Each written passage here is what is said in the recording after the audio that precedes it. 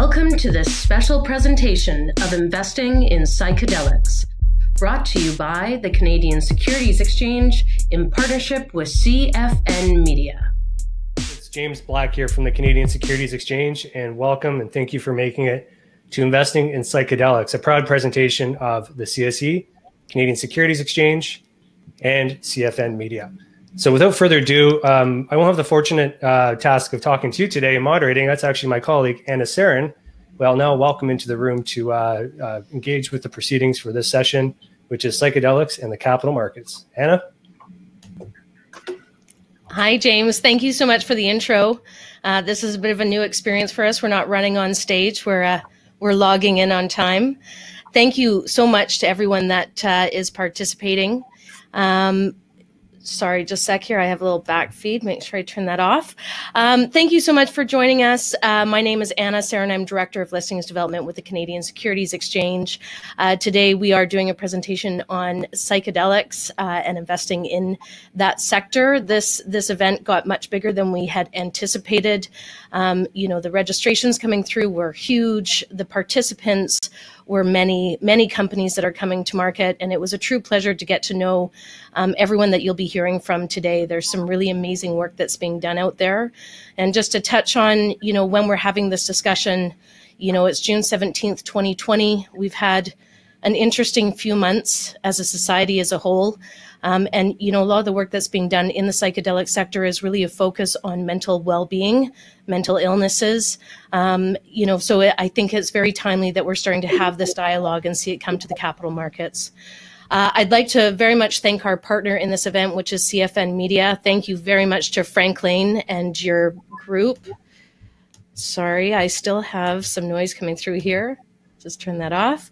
Um, so thank you very much to Frank uh, and CFN Media. CFN Media is a media company and leading digital agency and media network serving highly regulated emerging industries across the globe, including legal cannabis, CBD, and psychedelics. CFN Media's parent company is CFN Enterprise Inc.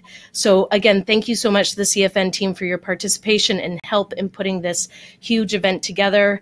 Um, you can go to the CSE YouTube page, which has a psychedelics playlist. We've been launching videos for the past month, including our CEO, uh, a clip from Bruce Linton, uh, Dr. Dennis McKenna, Dr. Roger McIntyre, and Dr. Nikos Apostolopoulos. I hope I said it okay, Dr. Nikos. Um, so again, thank you everyone for your participation. Our first panel today uh, is going to be investing in psychedelics and how they're coming to the capital market. So um, I'd like to introduce my colleagues who are joining me. I have um, Bill O'Hara, who is CFA and Managing Director of Haywood Securities. Hi, Bill. Thank you. Hi, Anna. How are you? Thanks for uh, welcome. I'm good, thank you.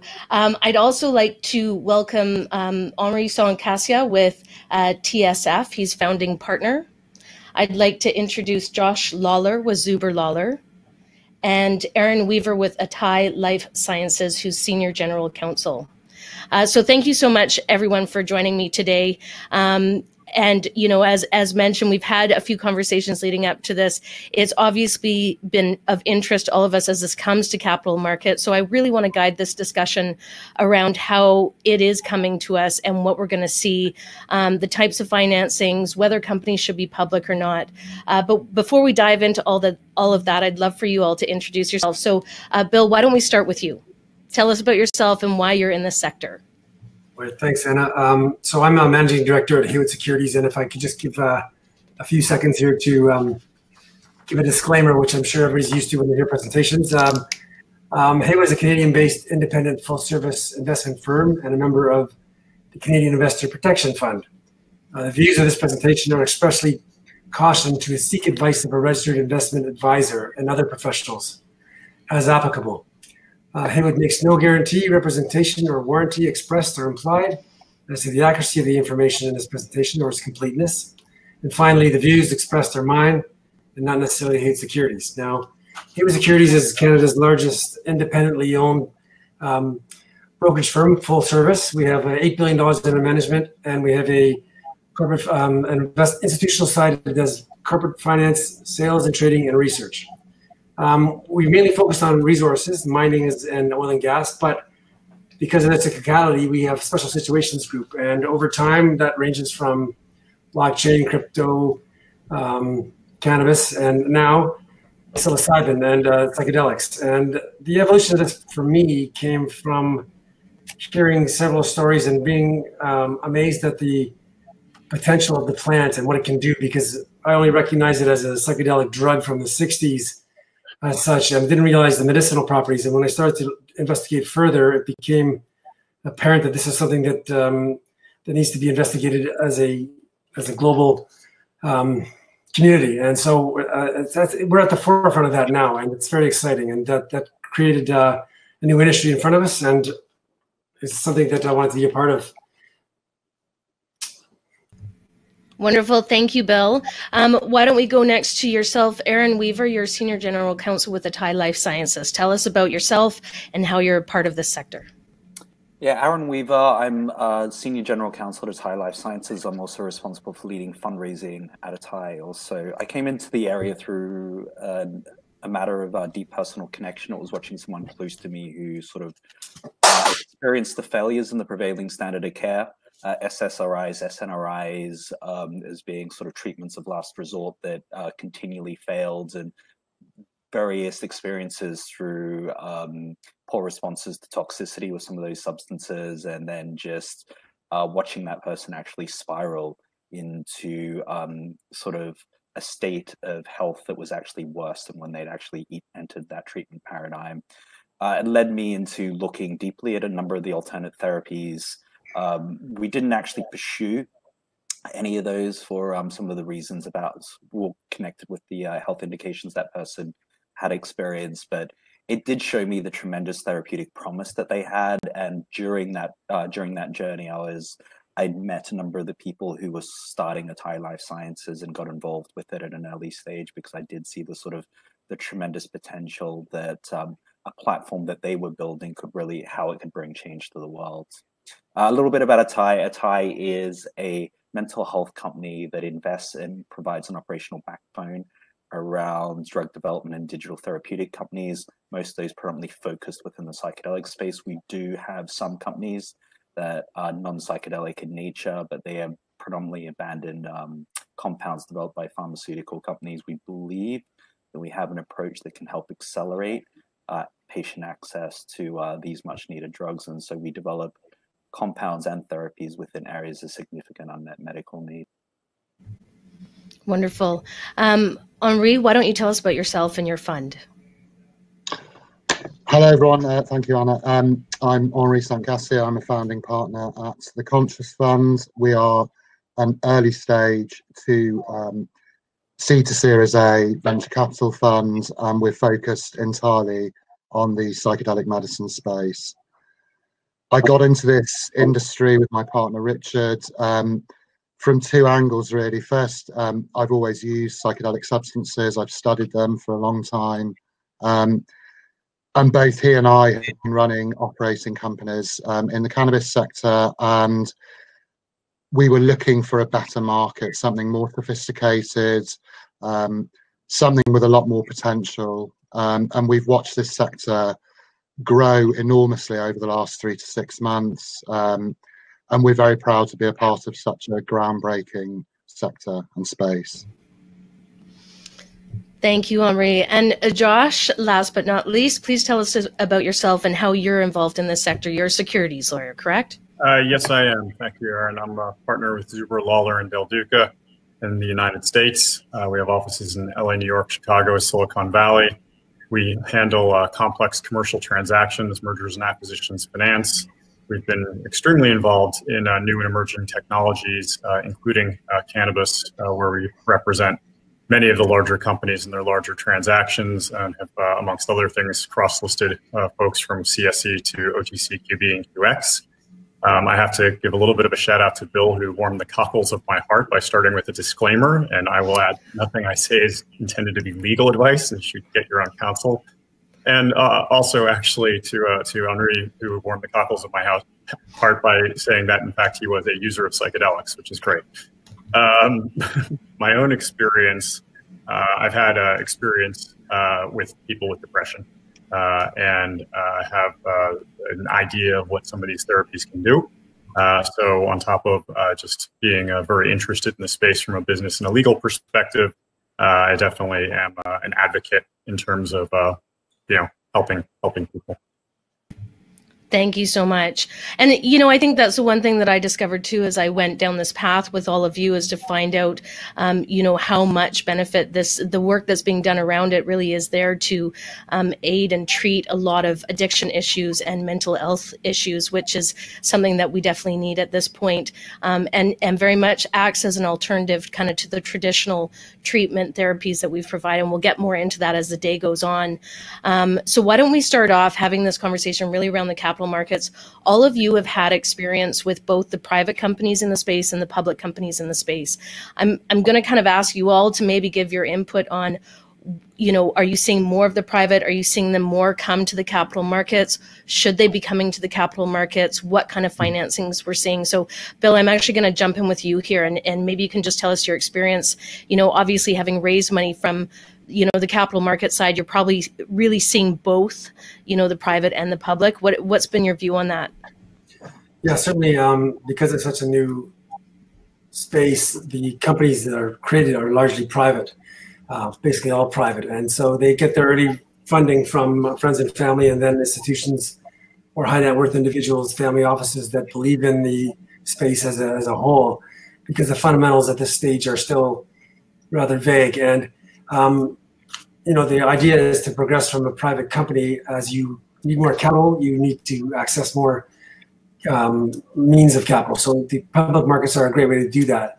So a lot of times, um, you know, the companies will then uh, list on an exchange, and then you'll see deals being done on the exchange where it's open to a, a bigger retail audience, and that just provides them uh, more access uh, to people that they couldn't get through their friends and family uh, database and, and uh, network.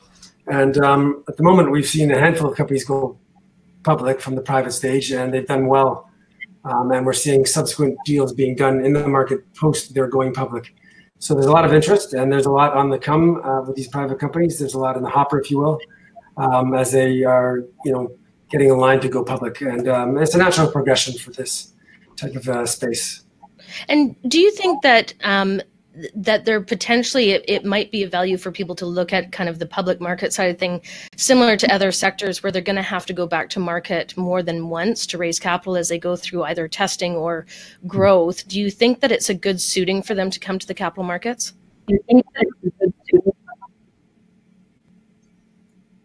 Bill? Are you there? Uh-oh. I think we lost Bill. Um, you know what, uh, Josh? Why don't why don't we have you kind of discuss a little bit about the discussion around what are these companies going to have to look at if they want to go public? Sure, uh, happy to do so. So you know, from that perspective, there's nothing particularly different from the psychedelic uh, sector. You know, they need to be able to define their financials with a level of accuracy they need to be able to define their business model and their team. And obviously, they need to have people who have not been dinged previously with securities law and fraud violations, which may seem obvious, but uh, you'd be surprised who, who tries. Um, and then, you know, one of the things that we always try to advise clients on before they go public is to really look hard at the post, uh, look hard at the, uh, post uh, transaction obligations and the continued reporting and the continued investor relations because that stuff is actually really make or break. Um, it, it's not that hard to go public, especially if you're going to do something like reverse merging into a shell. Um, it's kind of hard to stay public. Yeah, which I think is a really good point that um, you know lots of emerging sectors have have gone through. Um, I think you know creating that disclosure when you go public, you're required with a lot of disclosure requirements, um, you know, and that will aid you kind of going forward. But but it is you know a secondary um, element to your company. So not only are you managing your operations or your research and development, but you're also managing, you know, being a public entity. Um, perhaps we could jump to uh, both yourself, Aaron and Henri, and talk about um, both of you have obviously this is what you do for a living is your due diligence around these companies, whether private or public. Can you talk to us a little bit, and Aaron, I'll let you start, but talk to us a little bit about how the due diligence um, is maybe different than due diligence you've done in the past. I know one of your roles with Atai is um, on the financing side. So you look at tons of deals. How do you approach this differently than you might another sector? Uh, I, I, think predominantly we look to a, a series of validating factors. Um, one of which is, you know, has there been significant scientific inquiry around the asset? Uh, a lot of our, a lot of the compounds we worked on have spun out of um, significant um, academic institutions, NYU, uh, relationships with Imperial uh, Imperial College. And then it is, we have a series of neuropharmacologists and neuroscientists that work with us who try to then really understand the core pharmacology of the compound that we work with. And then it is really looking at a lot of these compounds come with um, significant observational uh, data and evidence. And then there's also sort of open label studies around a number of the compounds. So a lot of it is framed around looking at developing a strong scientific understanding of the asset. Um, the financial on the financial side, I mean, a lot of these are pre-revenue assets, so it's just really looking at the expense base, then really assessing the cap structure there afterwards. But um, in as a platform, atai sort of then broadly offers a degree of operational support for them to sort of really build that out in terms of clinical trials and regulatory engagement. So we sort of we do the diligence to see whether there is a matter of strong fit within our platform. Are you finding that a lot of these companies, um, you know, have some some historical data to kind of back up what they're attempting to do as far as clinical trials or research and development? I mean, obviously, this is new to capital markets. This isn't a new sector, though. So, um, are you dealing with people who have been working on these studies for years and you have that background, or is this all fairly new? Some of them have been working on these compounds for decades and uh, they have such a strong understanding of the way they work and the the core promise, uh, the core sort of therapeutic promise that they have to a number of patients that uh, you know it does make it somewhat of an easy decision for us at times to invest into things just because the science is really really there, but the um, but the funding environment hasn't caught up to that. Right. And and Henri, maybe you can jump in here because uh, you have an interesting start to how you built this fund out. Maybe you could tell us a little bit about that um, or the PG version of why you switched to the psychedelic sector and part of your due diligence process. So we were originally set up to look at cannabis and hemp transactions. We looked at close to 900. Um, and we got jaded pretty quickly with what we were finding copycat operations badly conceived RTOs, you know, a whole range of cannabis type sins that actually made it very difficult, even for a fund like us. And we've got very similar setup to um, Aaron's in terms of the kind of level of due diligence that we're able to do. We were sifting lots of transactions and finding very little of interest, and we there just wasn't the same excitement that we saw in the psychedelic space as well. There was a real lack of passion in cannabis. There was a lot of, you know, money focus. Um, in psychedelics, it's very different. Um, we pivoted pretty early on. Um, we were impressed by the quality of teams. There was this genuine passion. Everybody on this panel has described a personal connection to depression or mental health or addiction or some actual connection and vesting into the space. And that I think is actually an important part of the due diligence process is that are the founders truly interested in psychedelic or plant medicine? Or are they seeing the chance for a quick RTO and you know a quick profit? And if if there isn't that depth of relationship between plant medicine and the founders you've got a problem. And in terms of overall due diligence I think you can categorize it you've got classic kind of venture type due diligence that would apply to any company. Is it a strong team? Are you dealing with a sociopath or somebody that you can work with over seven or eight years? Are their projections reasonable? Um, is the, and then you've got sort of psychedelic specific stuff. So you've got to do a lot of very heavy science checks, checks on IP and claims. Um, and then you're also looking at the overall funding environment. So everything is kind of hyper compressed in psychedelics. They're moving. We've looked at virtually every company in the space, probably 70 or 80 already. Typically, seed, Series A, go public, they're all compressed, um, particularly in the smaller companies. They're all compressed together, and you've got to look at the structure of the deal, look at their funding requirements over you know a period of several years. If they go public will they be able to go back into the market? If they remain private is there enough capital for example to do clinical trials? You've got to look at kind of three areas classic vc psychedelic spe- specific stuff and then a lot of stuff around the transaction and the funding.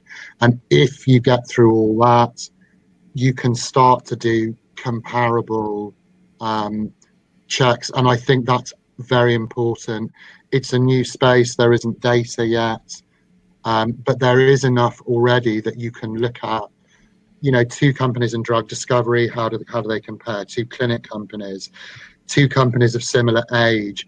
Look for those kind of comparables, and hopefully, once you've done all of that, you will have an idea of how you can rank deals and how, you know, where your money is best placed because everything looks great in psychedelics.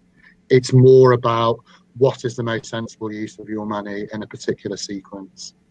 Well, uh, you know that it, to be honest, that sounds a bit daunting for a retail investor that wants to get into the sector. But I think you made up a few, or you brought up a few very uh, important, valid points. You know, to take a look at the not made up. um, you know, just to take a look at the team, take a look at the transaction, um, and and either upon bring it upon yourself to do some research on on the sector and the science behind it, um, or find people that you can trust to provide you with that information.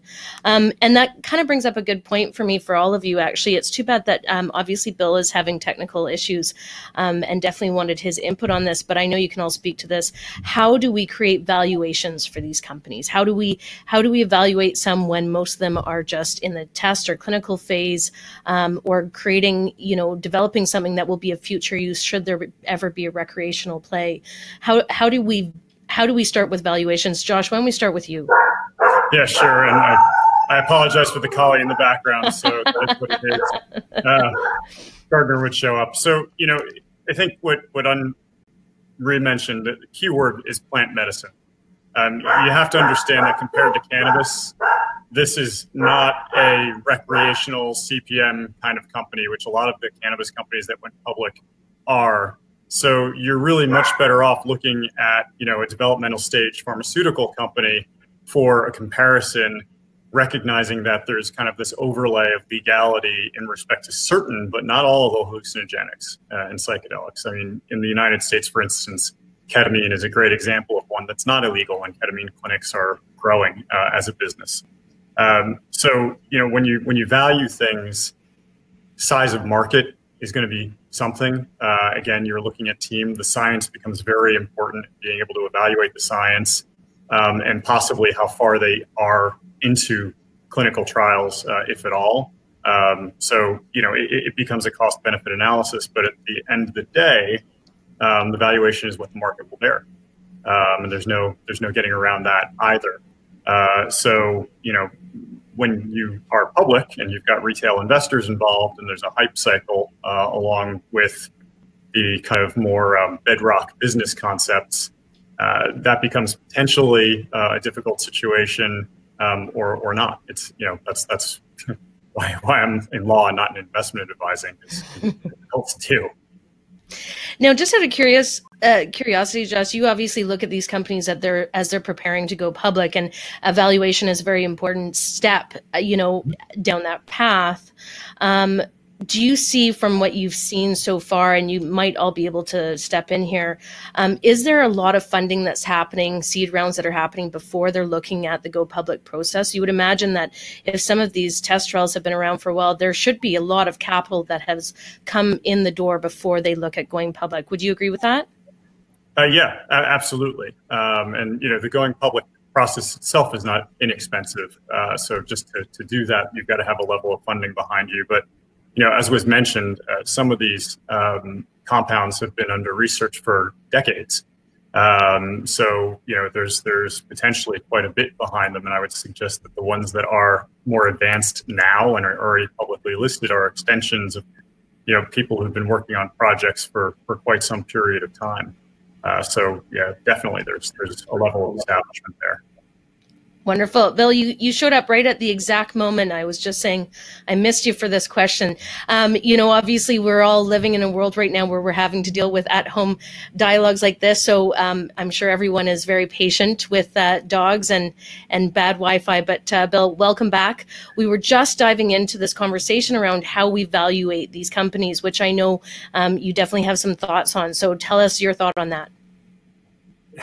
Great uh, question. It's very difficult. I think um, it's, a, it's, a, it's an art more than a science at this stage of these companies, um, and you know there's no real scientific method. It's a it's an art, uh, like I said, and a lot of times um, it's what the market will bear, and and um, really that's what it comes down to. I mean, you can have a team. How do you value a science team versus another science team? Um, it's practically impossible. You can you can value it based on the stage of clinical development that they're at.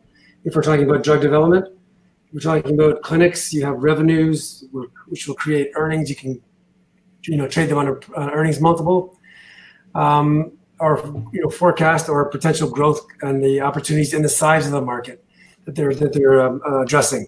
So again, I really wanted to say that it's it's um, it's a scarcity factor with the number of companies that are public. So that creates an artificial lift to the, to the stocks.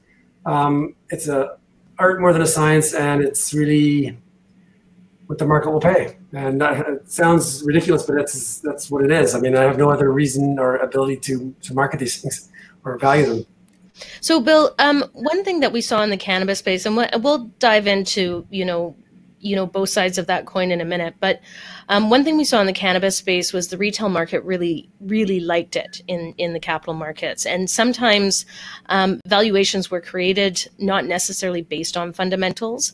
Do you think that that there's the potential for this sector to enter into a similar um, environment? Sure, and I think that's what's happening at the moment because again, it's so new that the companies that are that are traded now are traded on again this, the only ones you can trade so it's a scarcity factor. But you know when when the market demands forecasts they're just guesses. They're not uh, you can't you can't guarantee that these are going to work out in the future. And um, we're, we're, dealing with the wild west basically they're brand new. We don't know how people would uh, will um, receive them. We don't know how long it will take for a drug to develop. Um, certainly, those types of companies require a lot of capital, are not as exciting as companies that continue to make increased uh, customers to clinics, kind of thing. So, yes, you'll see that that come into play, but it's only because it's the Wild West and people don't really know what to expect uh, in the market at the moment. Um, well, and I think you brought up a really good point there. Sorry, Aaron, I'll, I'll jump to you in a second. I think the really important part there is that when it is um, such early stage, that is when professionals like yourselves are incredibly important in these sectors because due diligence is the number one. Once you get to a senior stock, the due diligence has been built in for you by fund managers and money managers and institutions. Um, whereas right now we're in a state where if you want to be a retail investor in this space, you need to apply um, you know, strong due diligence practices to investing in these companies. Um, Aaron, sorry to cut you off. Jump in there. Yeah, I, we at Atai we have a very structured way in which we effectively see value. Uh, a lot of that is based on sort of looking at the core epidemiology of the target indication which the compound is looking to treat. So we can then sort of start to understand um, the the disease prevalence and then sort of calculate okay it, whether it's psilocybin or ketamine or ibogaine, what are the penetration rates into that patient uh, patient population?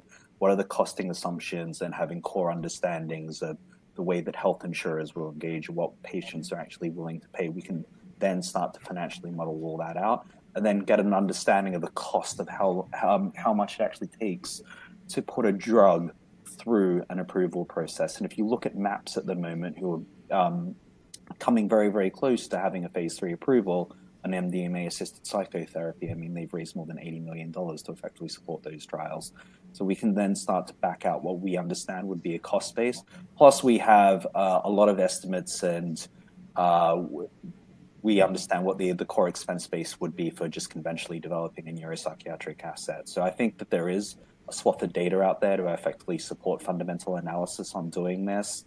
It's just that um, people need to know where to find it, and they need to know that there are structured approaches for doing this.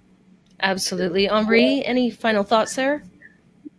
Um, when Bill said it's an art, I think he's very he was very right. But it's not abstract art. It, there are ways of finding comparables. So if you look at if you took a hypothetical example of a drug or a, a psychedelic program that was addressing post-operative pain, for example, you could look at similar exits for analgesics.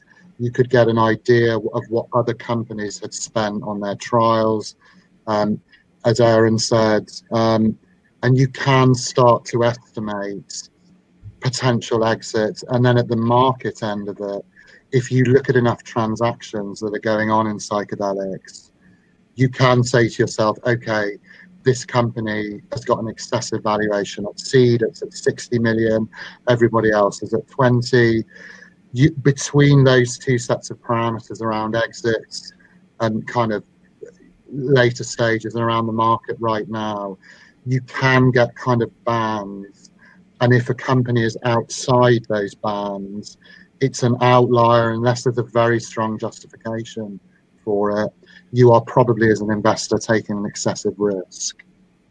Henri, you know, you bring up a, an interesting point. You've all kind of touched on this a little bit. There's an incredible amount of due diligence that you and your teams go through when you're looking at these companies. There's an incredible amount of technical data to go through. Um, you know, is I wonder how this is going to play out as far as are we going to see maybe more funds in this space than individual investment opportunities? In the cannabis space, we just saw so many individual investment opportunities. Do you think this might be a bit more of a life science fund play?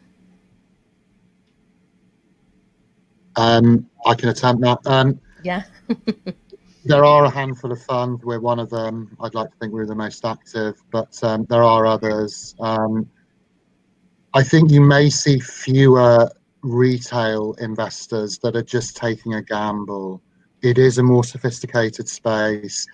It doesn't have the um, recreational ends um, of the market, as Josh pointed out. So it, this is squarely about medicine. It's mental health. It's addiction. It's there are wellness elements, but it, there's no recreational market. So you're not going to see everybody pouring into it like you have in cannabis. You will probably see a lower number of more sophisticated investors taking higher individual gambles. Whether you'll see a whole rack of funds, I don't know.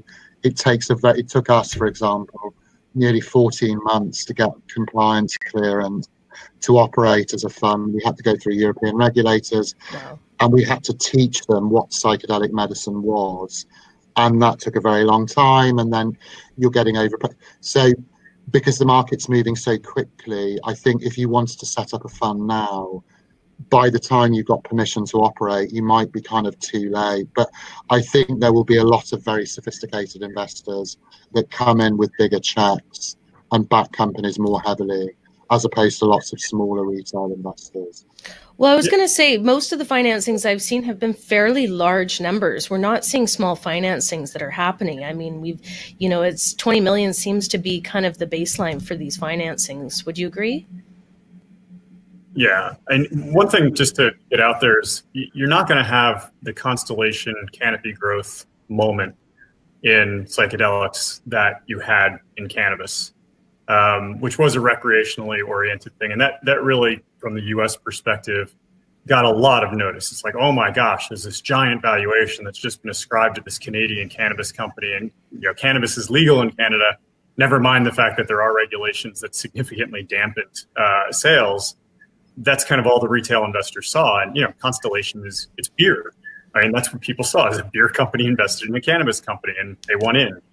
This is much more pharmaceutical. And you know, could there be some kind of a blockbuster deal where a Pfizer or Merck or you know AstraZeneca or you know over in England decides to purchase a, a compound?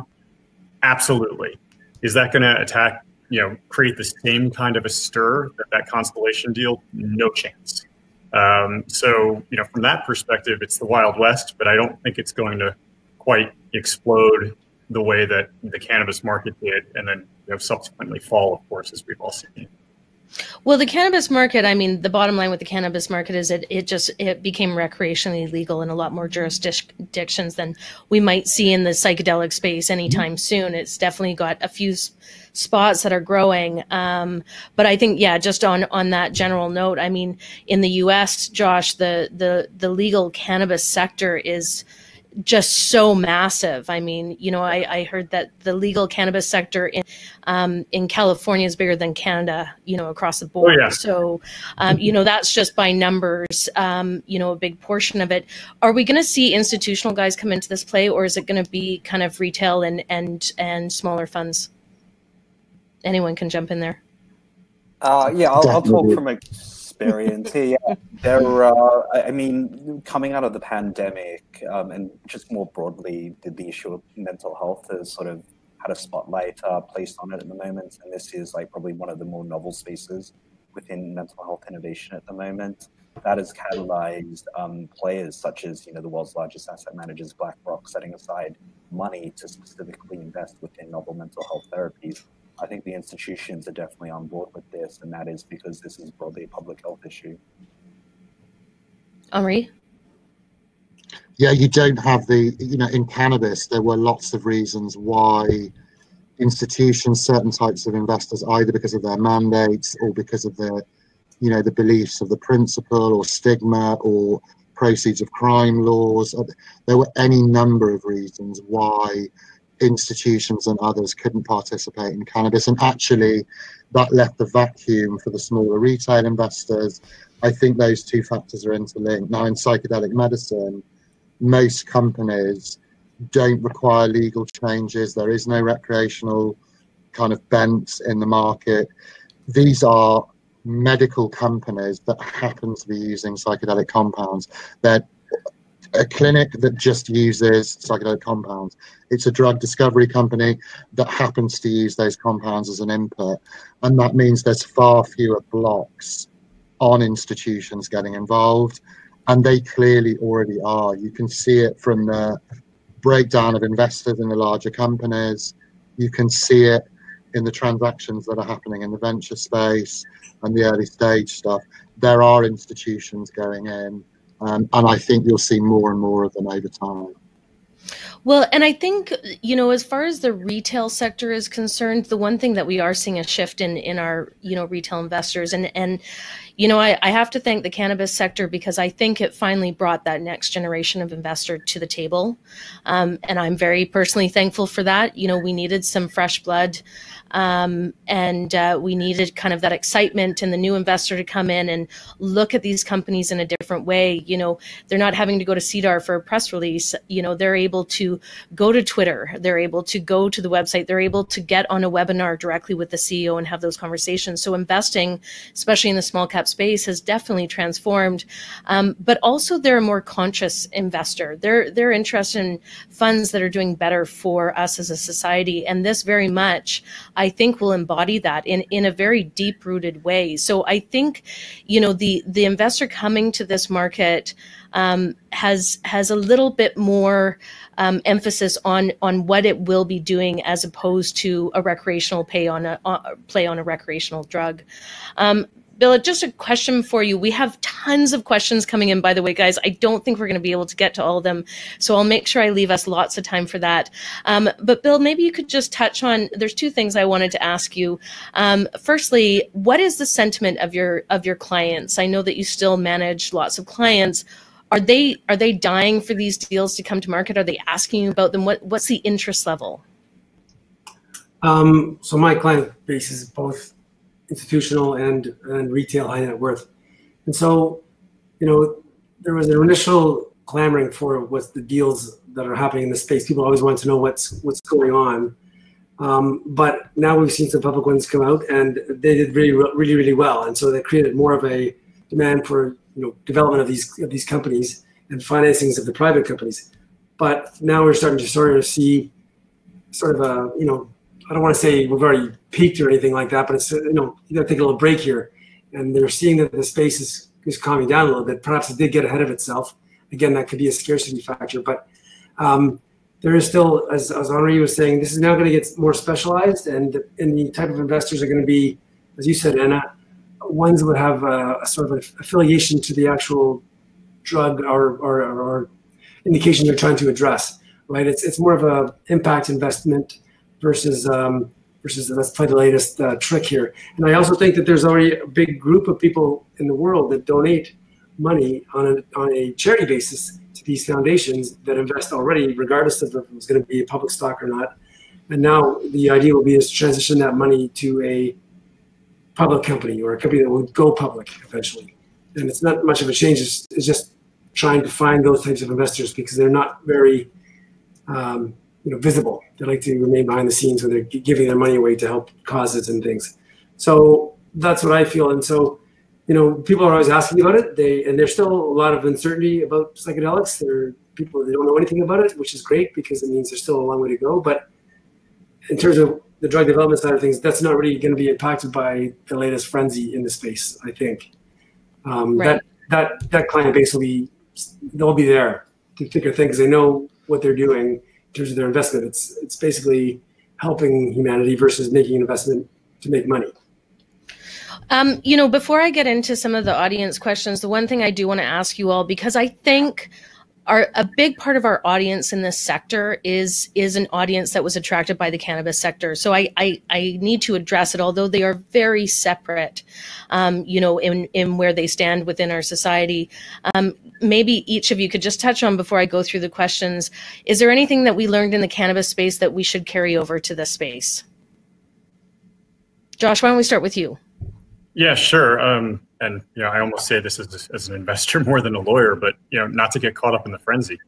Um, I mean, that that's kind of the, the biggest lesson from the investor standpoint is, you know, it's it's very easy to get caught up. It's very easy to see psychedelic as similar to cannabis because they're both scheduled substances, at least in the United States. But that's kind of where the similarities mostly end. I mean, obviously, cannabis has got a, a plant medicine basis as well, and it's a big one.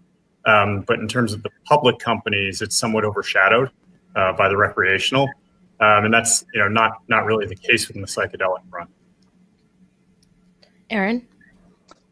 Yeah, I just echo that sentiment. There is there's a long life cycle to these companies effectively commercializing uh, successful assets that are going to find uh, real world application.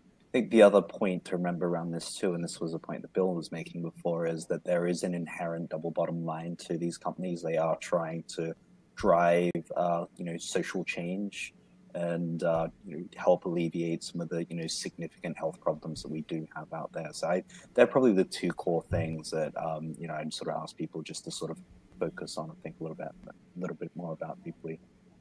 Perfect, Henri.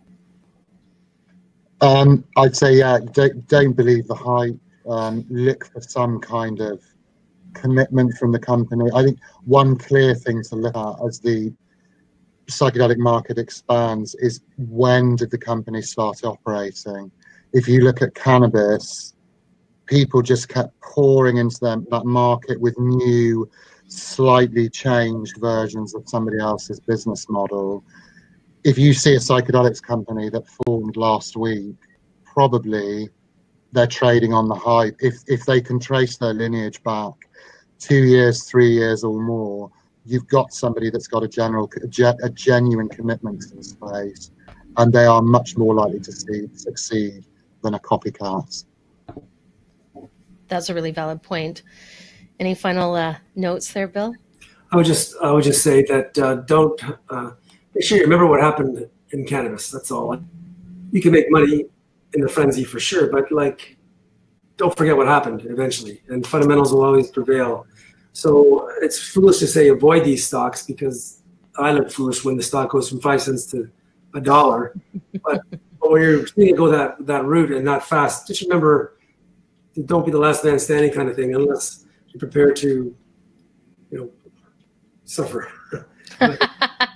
or when, who knows? Well, um, further to Bill's point, though, really sure. quick, I mean, people need to look at the volume traded in these stocks because in terms of going from you know five cents to a dollar and back down again, it takes a lot less if there's only hundred thousand shares trading a day. Right. That's for sure. Yeah. Yeah, that's a valid point. Um, okay, so I'm going to direct this question. So we're going to go into Q and A. There's been so many questions coming through here. Um, so thank you so much for everyone participating in your and piquing uh, your curiosity in the sector. Um, I think this is a really good question to define. And Henri, I'll, I'll direct this to you. Um, how would you break out industry in type of companies? So clinical, drug development, et cetera. Okay, uh, this is actually fairly straightforward. So the, the bulk of the industry is drug discovery. Atai is probably the most advanced, certainly the largest version of that model. Um, those are companies that will take a compound or more than one compound through clinical trial pathways. Um, and depending on how long they go through that process, the bigger the eventual exit will be. Then you've got clinics. Um, those could be bricks and mortar clinics, or they could be protocols, technologies, other things that let you retrofit existing clinics.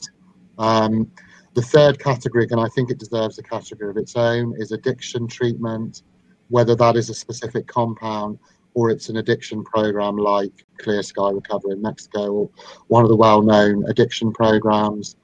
Then you've got uh, nutraceuticals and nootropics. Um, which are psychedelics light. Um, they're not, you know, pharmaceutical remedies. They're designed to be sold as supplements, and they're either mild um, treatments for something, or in the nootropic field, they're designed to improve the brain. So if you think about um, West Coast tech people microdosing, that is a sort of nootropic use of psychedelics. It's there's no underlying condition. It's about you know improving what you've already got. And then finally you're going to have ancillary businesses whether that's a mood monitoring app a clinic onboarding program patient data program specialist insurance for clinics debt to do real estate for clinics. There will be its own kind of ancillary ecosystem in a very similar way to you saw in cannabis. And those i think those four or five categories are the key subsectors currently well, thank you. That was very well said, and I think that little clip right there can can give people a real place to start. You know, as they're looking into it. Um, Aaron, I might jump to you for this next question, just because I know that you guys invest on a global scale. What is your thought on, um, you know, as a plant based system for legalization? Do you see that coming down the pipeline for us?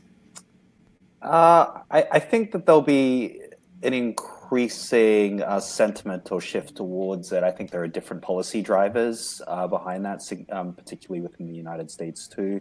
I think it'll take a little bit of time to effectively evolve as a matter of public discourse, but um, it's it is something that's being tabled for discussion. There are some ballot initiatives in Oregon and a variety of other places that are occurring at the moment. But um, I think for the time being, we're still a pretty, we're a long way off that effectively occurring.